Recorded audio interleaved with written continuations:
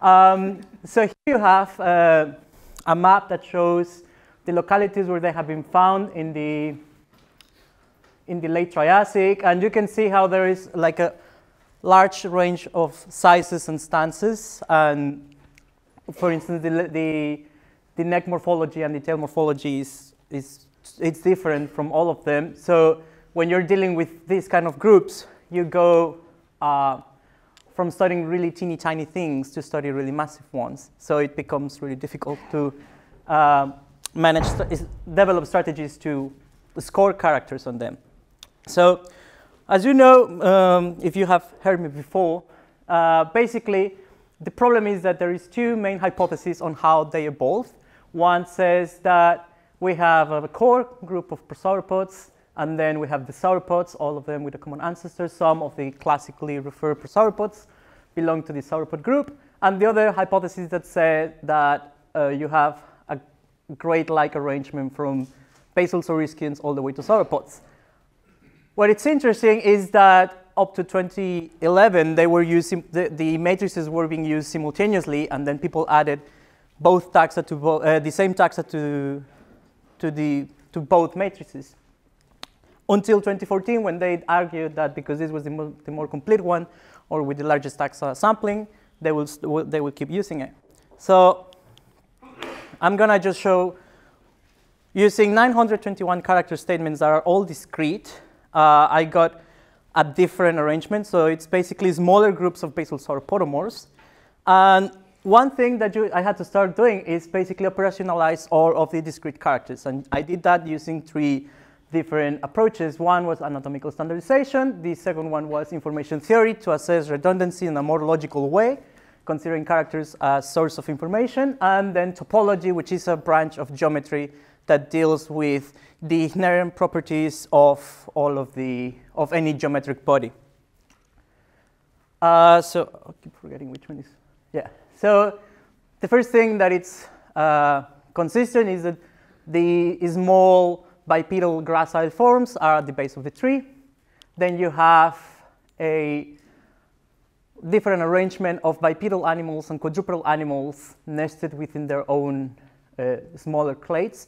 And what it's interesting is that then you get bipedal forms alternating with quadrupedal forms until you get to the sauropods where you have bipedal forms at the base of the tree and then quadrupedal forms at the base of the tree. So it means that quadrupedality is something that originated multiple times throughout the evolution of basal sauropodomorphs. So the gradient topology, it's still supported, but it's not as simple as that. There is no bipedal to quadrupedals only in one time. But this is only using discrete characters. The second part is when we got to the point when you have uh, things that could be treated as continuous. So here I have an example of a character where the disagreements were based only on how you were interpreting the character and not on the specimens you were assessing. So for instance, that character says that the shape of the snout is either V-shaped or U-shaped. So a U and a V, you can define them in two different ways. A U has a curve, and the V has a vertex. Or a U has two parallel sides, and the V has two uh, perpendicular sides, or intersecting sides. So you have, for instance, in, in prosauropods, depending on how you interpret this character, either as a subparallel lamina in the, in the maxilla or a rounded snout versus a pointed snout, you will have disagreements on the scores you give to the same taxa. So you could go for one solution that it's converting this character into a continuous one and said how much it is U-shaped or how much it is B-shaped. But instead of, and you have to bear in mind that although all continuous characters could be discretized, uh, not all discrete characters can be presented in a logical continuous form. So one thing that I started doing was to separate continuous characters from discrete characters, and I found that only when you use continuous characters, uh, join uh, if you, I joined the two matrices and I tested the discrete topo the topologies produced from the discrete characters with the continuous one. And what I found is that the continuous one that produces different smaller groups, it's only uh, compatible with the continuous characters only. So like you can get discrete topologies from a matrix with continuous characters only. So there, uh, it was worth looking at the possible artifact. So here you have a, continuous a discrete character made continuous, which is distal expansion of the scapula, defined just as a ratio in the scapula. And this is just a, small amount of, of taxa so that it doesn't look that crowded. And as you can see, uh, you can discretize this continuous character in, in different ways. Either you do an average, so you check which one is the average of your sample, and the other one is by gap coding. So it's basically you organize from smaller to larger the logarithmic ratios, and then you count where every two standard deviation there is a gap. Um, the problem with doing this uh, with gap coding is, as you can see, as you increase the number of taxa, the gap coding is going to produce different characters. So it becomes a dynamic character. Every time you add a new taxa, you have to reassess the gap coding for that particular character. Whereas the average one, when you use average coding, the adding of new taxa doesn't affect much the limit you are putting into the discretization of your continuous character.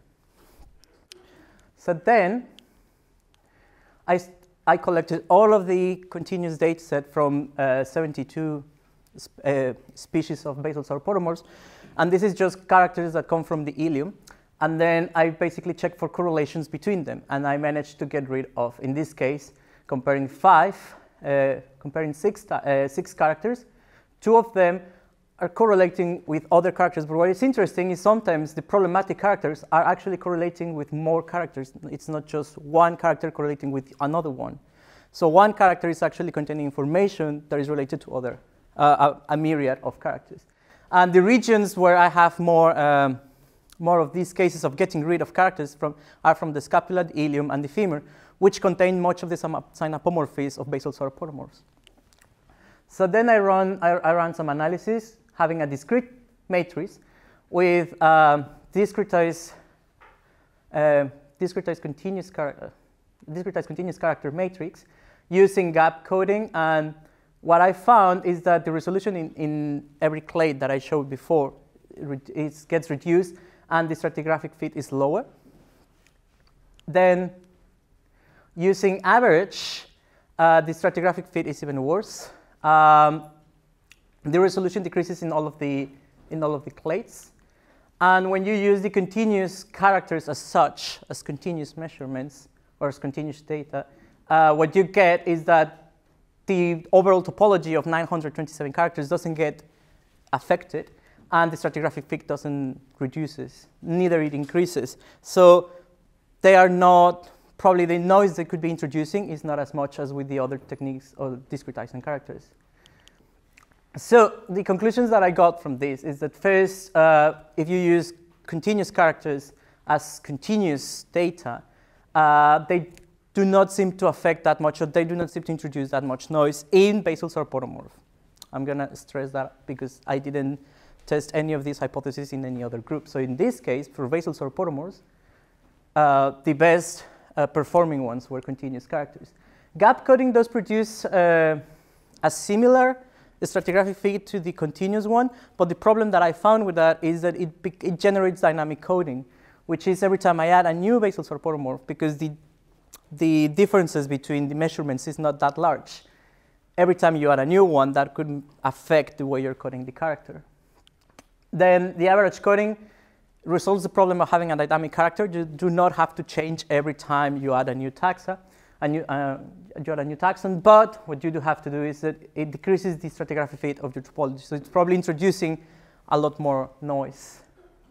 Um, I think this is the more important part because it's really complicated to deal with continuous characters. It will be nice to start operationalizing the discrete ones and assessing how much you really need to use the continuous characters so that the continuous characters that you are dealing with are actually things that there is no other way to give around to it. So for instance, instead of converting the example of this node character into a continuous entity, you can start to operationalize it so that probably you treat it as two different characters with parallel maxilla or uh, pointed snout, or uh, yeah, you find another ways to, to represent that information before actually treating it as a continuous character. So this led with 927 characters, uh, discrete characters, and 80 continuous characters. So that reduced the amount of characters, of continuous characters that I had to deal with. And that's pretty much my presentation for this time. And I just want to mention that all of the PhD project was funded by the National Council of Science and Technology in Mexico. And yeah, so they are the main contributors of me being here presenting this research to you. Thank you very much.